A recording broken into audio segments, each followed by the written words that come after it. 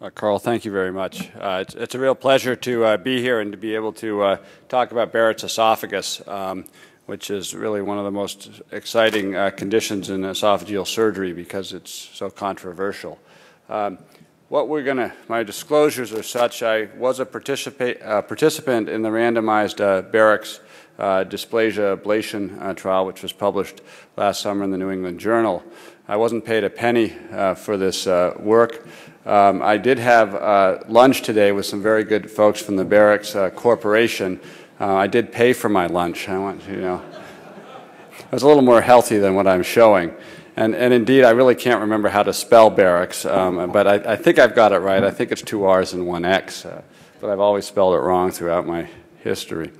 Um, Jeff showed you a lot of data about the uh, epidemiology of Barrett's. I think one of the things to point out is how much um, how much the data varies depending upon who you look at. Um, at the bottom study seen here is a study from the VA population uh, done, I think, in, at Stanford, showing that 25% uh, of people in that population age uh, greater than 50 uh, had Barrett's esophagus, and if you use that as an estimate, it would be 20 million people.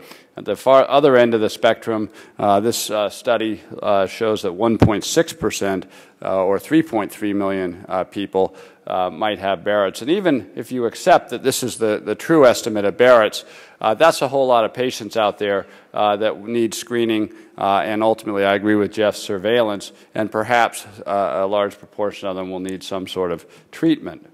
Um, and, and, this is the problem uh, that we are failing to correct, which is the problem of the growing prevalence, uh, growing incidence of esophageal uh, cancer.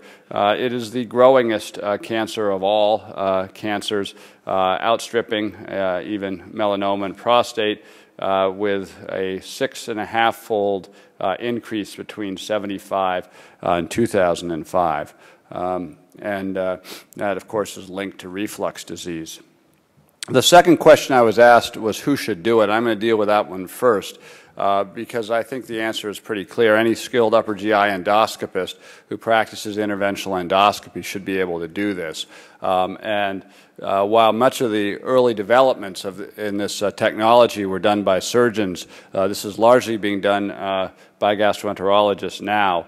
Uh, but both have shared in the developments, and, and I'm, it's exciting to see surgeons get excited by this. Well, who should have it is sort of the next question. And I'm going to deal with this in three phases. I'm going to deal with it in the spectrum of Barrett's esophagus, uh, um, and that uh, takes us here, uh, sort of this uh, stage uh, of the disease with erosive esophagitis. This is the Barrett's, uh, and we can't tell looking endoscopically at this today whether this is just metaplasia, low-grade dysplasia, or high-grade dysplasia.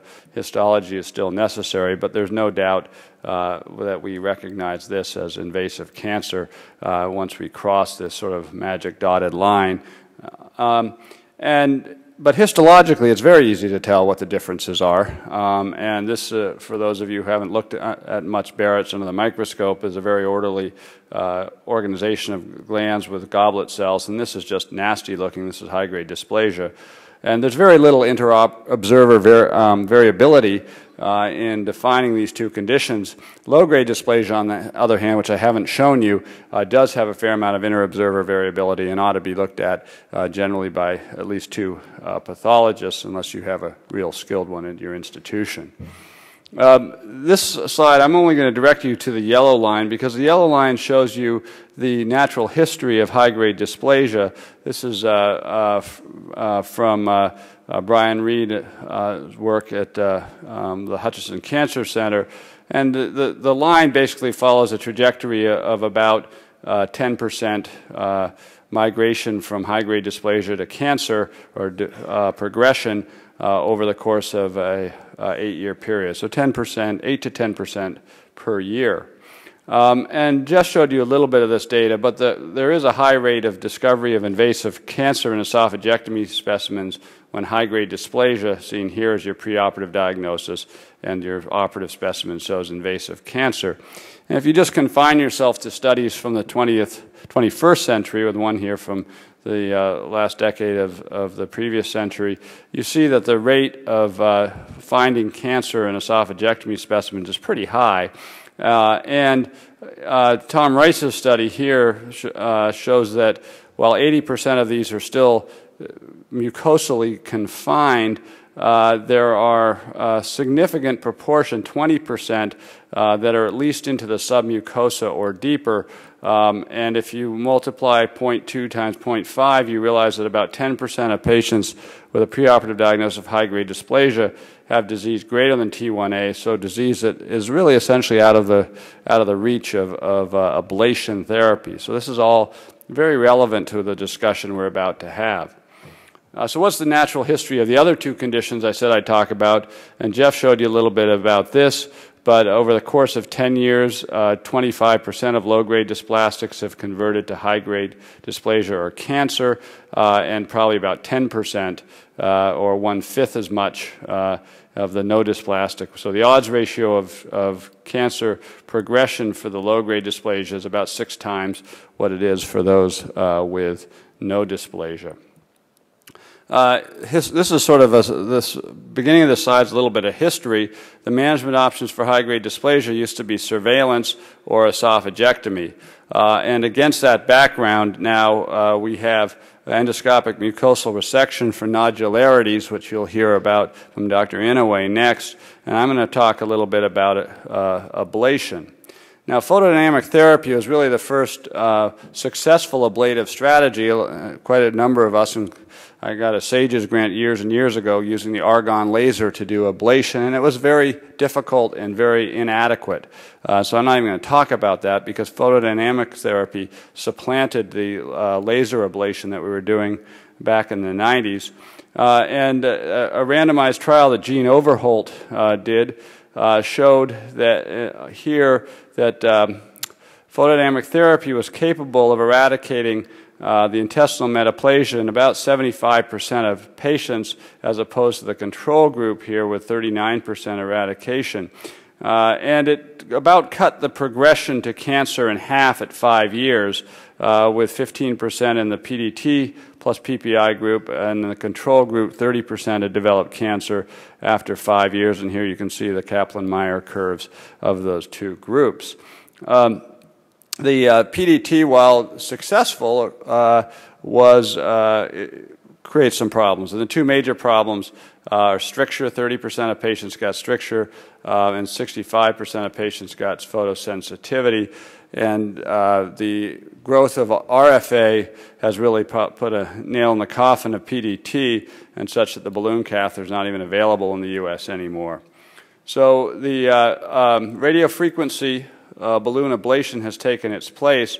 Uh, it starts with a sizing balloon uh, that sizes the esophagus. A appropriate sized RFA balloon is then chosen, which uh, applies energy. This is some of the early studies uh, that, that we did uh, showing, um, Dan Smith, this may be one of Dan's specimens, showing the normal squamous epithelium, an ablation zone, a non-ablated zone, uh, another ablation zone, and the histology associated, first here with the Barrett's uh, and here with the area that has been uh, ablated.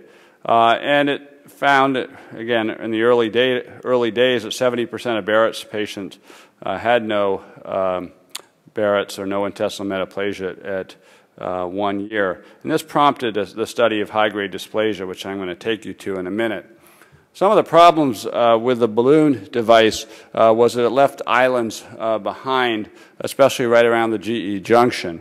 Uh, and so this 90-degree uh, uh, device was developed to, to spot weld, if you will, um, islands of Barrett's that were left. And this is some, some slides of, from Charlie Lightdale showing some Barrett's esophagus, clearly another area of uh, Barrett's esophagus. This is the, balloon uh, with the uh, RFA um, coils before the balloon is inflated. this is essentially how it works. The balloon is placed, uh, it's inflated, the, it's activated with about 12 joules per centimeter squared. It's deflated, it's moved to the distal uh, extent of the Barrett's and inflated again, and RF energy is applied. And this is what it looks like uh, at the completion of the application. here's the Halo 90 device with a, a nodule here and the application uh, of the uh, halo. Uh, and here are a couple of before and after. I feel like a plastic surgeon now showing you before and after pictures, but I'm going to show you a couple of them.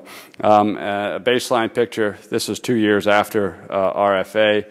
Another patient baseline, uh, two years uh, post RFA. looks like a pretty normal esophagus at that point. Now, there are a couple caveats and things to, to understand about RFA. Uh, the RFA uh, is done with um, positive and negative uh, electrodes that are placed about a half a millimeter apart. Uh, that means that its depth uh, is really about the same length as the distance between the electrodes. So the depth of injury with RFA is only about half a millimeter to one millimeter of depth, um, as opposed to PDT, which takes you two to five millimeters in depth. And this, uh, of course, PDT will give you a deeper effect, and people were initially concerned uh, with RFA that it wouldn't be deep enough. And if you can see that RFA will take you down into the submucosa, or just about to the uh, uh portion right at the level of the uh, muscularis mucosa, um, I think I've yeah, seen here, uh, and the PDT will take you into the muscularis.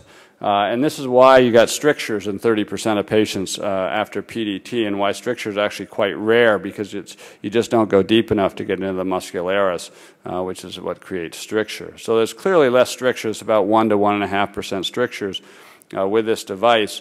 Uh, one might ask the question is, are you going to be as effective at preventing cancer progression? Um, and or alternatively, actually, could it be better than PDT because you don't miss spots or can go back and pick up spots? And I think the truth is that if it is better, it's because you can uh, treat repeatedly uh, with the with a 90 device to touch up. Um, as I said, there may be better methods now using narrow beam uh, imaging, et cetera, for detecting and treating small areas of residual cancer. So what are the, the worries? One of the worries is buried glands. Here's a, a squamous uh, neoepithelialization, and here's some subsquamous glands. Turns out that that's a very rare entity uh, in the trial, that the RFA uh, trial that we published, um, and uh, turns out not to be, uh, at, at, least at this point, uh, and when I say it's still a little bit early, at this point it's, it's not a significant risk factor. But one of the things we can't do yet uh, with an endoscope is tell when cancer is in lymphatics. And when cancer is in lymphatics is a time when, when we really need to be a lot more aggressive. And if we had a way of non-invasively determining this, then we would know who needed an esophagectomy. The best we can do is just look at depth and use depth as a surrogate, and depth can be determined uh, both with EMR or with EU, really uh, uh, high um, frequency EUS. Uh, EMR, of course, is the best way to look at this. And, and patients, I'm just going to focus you on this group, when, they, when you have extension of your tumor into the submucosa beneath the muscularis mucosa, the rate of lymph node involvement uh, is actually at a level where we probably ought to be uh, thinking that, that, that uh, esophagectomy, uh, maybe with neoadjuvant chemotherapy, should be done. Uh, the, even with the early stage cancer, however, you can see that lymph node metastases are not unheard of. So this is a study that was uh, published uh, last summer. Uh, there were two surgeons involved with this uh, study, and we were grateful to have been involved. Uh, Blair uh, Jobe, my partner at or Oregon for a long time, did most of the treatment with Glenn Eisen, a gastroenterologist there. It was a, a randomized sham-controlled design, two patients with RFA versus the sham, stratified by high grade versus low grade, and the length of tumor, four RFA sessions at a maximum, uh, and then a 12-month uh, crossover period. Primary endpoints were complete remission of intestinal metaplasia, complete remission of dysplasia at 12 months, single pathologist, and these are the secondary endpoints uh, that we looked at. Um, and these are the data that were reported. Complete eradication uh, was uh, occurred at the one-year time point in 83 percent, um, with, uh, and this is the, these are the treatment groups, and here are the control groups. Um, low-grade dysplasia, 95%, a little harder to completely eradicate high-grade dysplasia uh, in this group. Uh, disease progression uh, was, uh, was rare, except, of course, in the control group, uh, where you can see 16.3 percent uh, progression as opposed to 4% in the treatment group. Note uh, here that the high-grade dysplastics, in one year, 19% of those in the control group had progressed to cancer. And remember, we quoted you figures of about 10% per year. It was actually double that uh, in this trial. Um, so the, the, the, these are sort of statistical uh, numbers of the number needed to treat uh, for this to be cost effective, uh, 4, 12, 6, and 11. So this, these are all pretty low numbers suggesting this is cost effective treatment. So in this uh, trial, uh, we were able to uh, show that there was a high rate of complete eradication of dysplasia in IM and decreased disease progression in the ablated group as compared to the control. Uh, this is a two-year durability uh, data which has, hasn't yet been published but essentially shows uh, that it is durable treatment. In fact, using the Halo 90 uh, device to touch these things up, the complete eradication is even higher uh, than it was uh, at the one-year time point. Again, high grade is higher to completely eradicate with only about 80% eradicated. Uh, so does ablation reduce the incidence of cancer? This is, of course, the fundamental question we have to answer. Um, and uh, these are, this is a, a, uh, a, a uh, slide that Nick Shaheen put together uh, showing, I'm just going to address you to the high grade and low grade, that you can reduce by almost tenfold the incidence of cancer development in low grade and by about fourfold, or 75%, the development of cancer in high grade dysplasia. Um, again, number needed to treat for this to be effective therapy uh, uh, seen here. Uh, there's been a lot of interest in what about the non-dysplastic Barrett's? Is it cost effective to treat uh, those patients? And uh, for the interest of time, I'm not going to take you through this whole mathematical ar argument that John Inadomi is sort of a, a, a modeler uh, as well as a gastroenterologist and has done a lot of these effectiveness analyses. Uh, but I'll just bring you to two, two, uh, two points. We know that high-grade dysplasia uh, ablation is, is a dominant strategy, and in fact, um, for about 3,000, uh, uh, it's, I'm sorry, it's at, at, a level of $3,000 per quality adjusted life year, it's an effective therapy. Low-grade dysplasia is cost-effective if you can get greater than 28% complete remission, which that study that we, we did showed. Um, and uh, actually, non-dysplastic Barrett's uh, is still cost effective if you can get greater than 40% complete remission, even if you're going to continue surveying all patients. So, so it may well be that uh, we'll be treating not only the dysplastic but the non-dysplastic Barrett's. So just to summarize, uh, ablation is effective, um, about 95% at two years, low grade more so than high grade.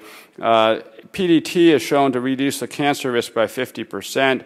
Um, the uh, RFA balloon ablation reduces high-grade dysplasia cancer risk by 75%. It doesn't eliminate it.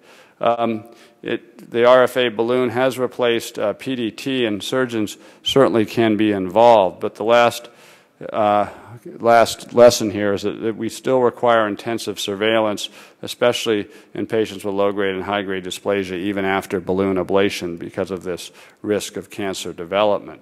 So now I'd just like to finish by thanking uh, many of the people who have uh, helped with the trial and helped with this presentation. Uh, Blair, uh, Glenn Eisen, Brian Fennerty, and Nick Shaheen, who was a great PI for this study uh, Nick Shaheen for some of the slides, Charlie Lightdale, and Lorenzo Ferri from uh, Montreal, and then to my wife, my daughter, and the dog, of course. Thank you very much. Appreciate it.